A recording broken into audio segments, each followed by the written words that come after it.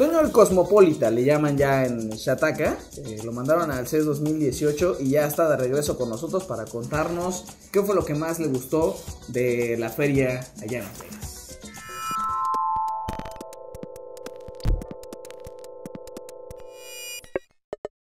¿Qué tal, chataqueros? Pues tecnología, tecnología, tecnología. Las Vegas se vistió de manteles largos. Fue otra vez sede de la feria de- tecnológica más grande del mundo. Y pues bueno, vimos muchas cosas.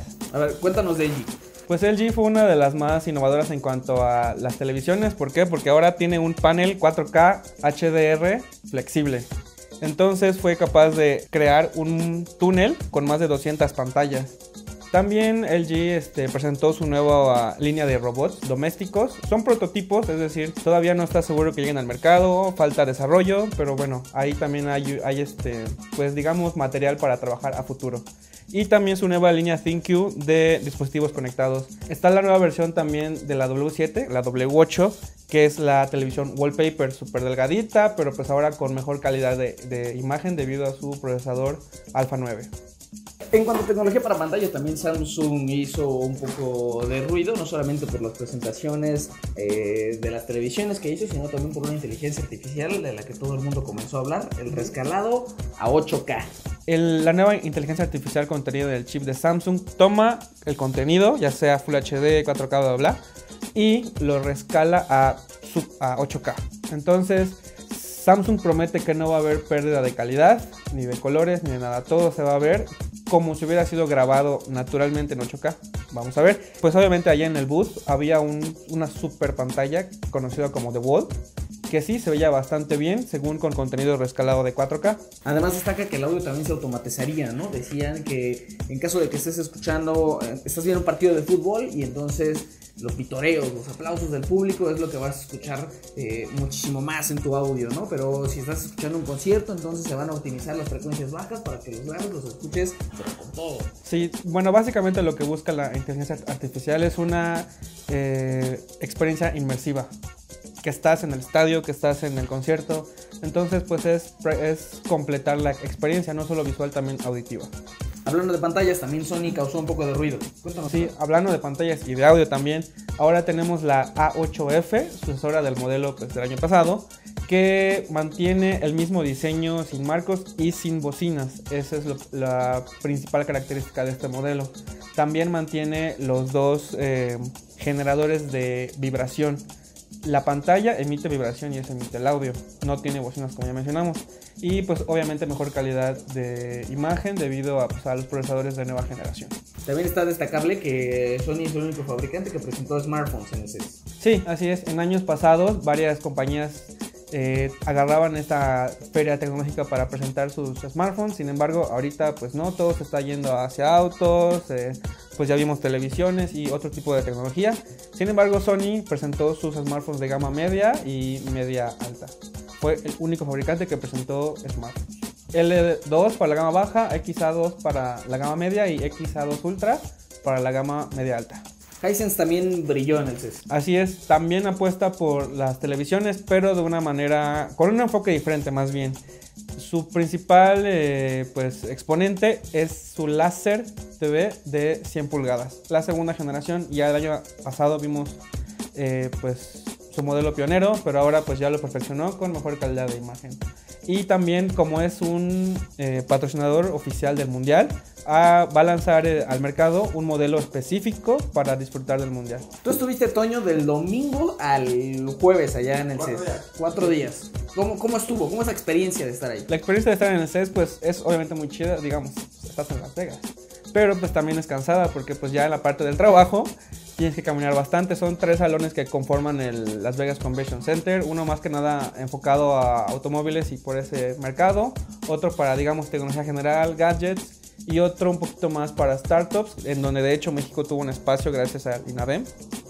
Y bueno, Steve es caminar y encontrar cosas interesantes, porque aparte de las grandes marcas, como ya hablamos, LG, Samsung, bla, bla, eh, también hay otras pues pequeñas startups, no tanto enfocadas a la electrónica de consumo, también telecomunicaciones, desarrollo de nuevas tecnologías, es mucho, o sea, re- realmente el CES es la feria de tecnología pues, más grande del mundo. ¿verdad? Hablemos de los gadgets que, que tú viste que te encantaron, así, aunque no, aunque no hayan sido lanzados, prototipos que tú querías, los viste y dijiste, me quiero llevar este en mi casa, pero ya.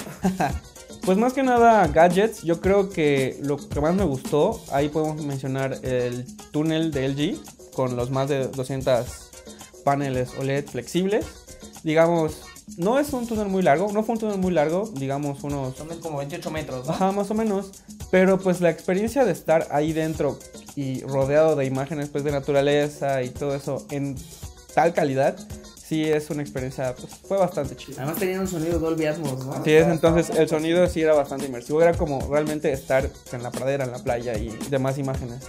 Otro, otra cosa que también me gustó mucho fue el Project Linda de Razer. Así como mencionabas, el Project Linda no es un producto final, es un prototipo que básicamente te permite tomar el Razer Phone, lo pones en la base y ya tienes una computadora funcional. ¿Por qué? Porque añade teclado y pantalla. Entonces tienes una laptop potenciada por Android. Eh, interesante, sí, bastante. De hecho, pues ahí lo probamos y estuvo. Sí, tiene futuro. Sin embargo, mucho se dice que al ser un prototipo y al ser, digamos, de cierta complejidad, es muy, muy este, improbable verlo en el mercado. Sobre todo porque tiene que comprobar como sus ventajas frente a, pues, a, otros, a otras tecnologías que ya comprobamos su eficacia frente a una laptop tradicional. Exactamente. Además, eh, es interesante ver cómo Razer eh, pues concibe el concepto de convertir un smartphone a una computadora. Un concepto que pues Samsung ya ha demostrado con el DX Station y también Huawei con su Mate 10 y pues únicamente con el cable HDMI. Te digo, es una idea buena, sí, por supuesto, pero pues que todavía le falta evolucionar y hacer, digamos, más sencilla.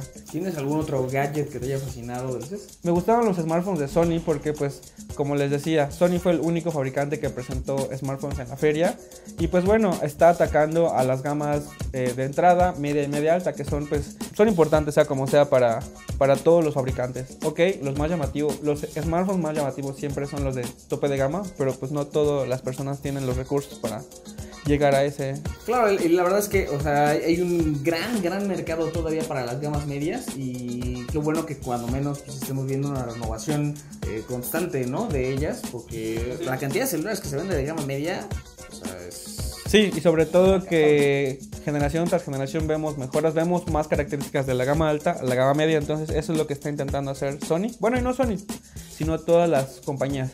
Pero pues al menos en este inicio de 2018 Sony pues dijo, aquí, están aquí está mi apuesta, vamos a ver. Ahora menciono honorífica, ¿notaste alguna pauta, eh, algo que haya permeado a todos los fabricantes del CES? Vaya, si indicaras el CES, este CES 2018 como esta tecnología se la lleva o este fabricante se la lleva, ¿quién sería? Pues definitivamente en ese puesto tenemos a Google. ¿Por qué? Porque tanto las televisiones que ya mencionamos de Samsung, LG, Hisense, todas, o al menos la mayoría, integran Assistant. Y no solo las televisiones, también vimos eh, altavoces inteligentes, los nuevos displays inteligentes. Entonces, Google, ¿qué quiere hacer? Conquistar el mundo. También. Pero ¿cómo va a lograr eh, la conquista del mundo? Con Assistant. Entonces, es cierto. Sin embargo, cabe mucho resaltar que también otras marcas han integrado a Alexa de Amazon en sus productos. Pero pues como ya escribí por ahí en el portal, ¿quién tiene más presencia? ¿Quién tiene más peso en la industria tecnológica? Google. Entonces, básicamente eh, Google Assistant va a ser lo que le digamos con un comando de voz. Hey Google, prende las luces. Desde eso hasta Hey Google, tráeme un sándwich.